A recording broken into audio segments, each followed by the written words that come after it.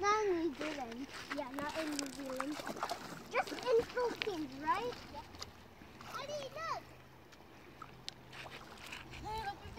Honey, look!